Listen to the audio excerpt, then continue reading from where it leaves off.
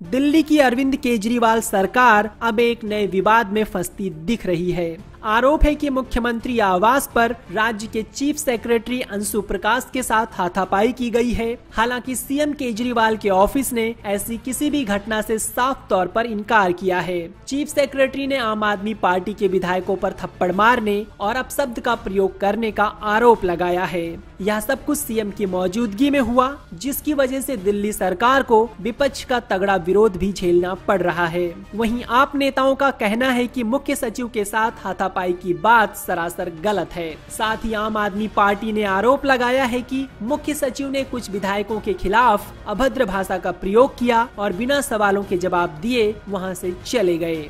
इस मौके पर दिल्ली भाजपा प्रदेश अध्यक्ष मनोज तिवारी ने केजरीवाल पर निशाना साधते हुए कहा कि मुझे ये लगता है कि मुख्य सचिव के साथ मारपीट पूर्व नियोजित थी। अगर ऐसा नहीं था तो मुख्य सचिव को 12 बजे रात में बुलाने की क्या ज़रूरत थी?